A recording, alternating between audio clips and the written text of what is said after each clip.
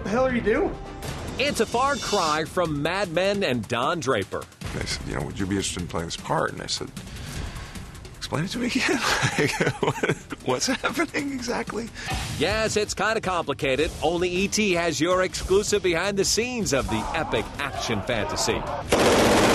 Shooting the big guns is the most exhilarating feeling I've ever had in my entire life. My heart basically stops beating, and I just get the biggest rush.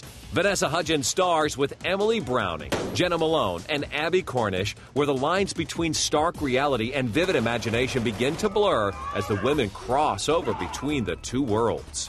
It's just such a wild ride. Um, and I think the entire movie people are just going to be constantly taking hits to the face. Much of the action is shot with a green screen with visual effects added after filming.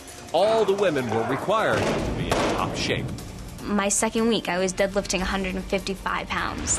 From director Zack Snyder, the visionary behind 300 and Watchmen, Jon says get ready to be stunned.